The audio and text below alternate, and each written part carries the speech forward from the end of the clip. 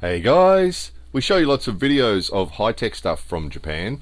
Have a look at this embankment here that adjoins a big shopping centre. So it actually is part of a giant shopping centre, belongs to a giant shopping centre adjoining a main road.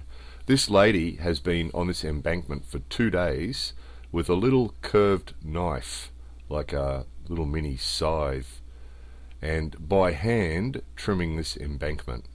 So this was day two went past the day before, she was there, came past the next day, she's she's there again. Now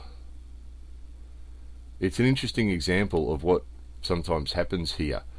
The way the big companies see it is they quite often give people silly jobs to do because it, they they have the attitude that it keeps people employed.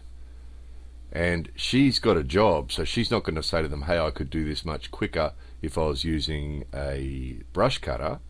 Because she'd get it done in a couple of hours and you know she'd miss out on the income. So nobody says anything and she just sits there and does that probably for a week. In summer by the time she gets it finished she'll have to start again. And here's another example. These guys have got all the latest equipment and they're building a road with all the technology and to clean up around what they're doing they're still using the old bamboo brooms bamboo stick brooms.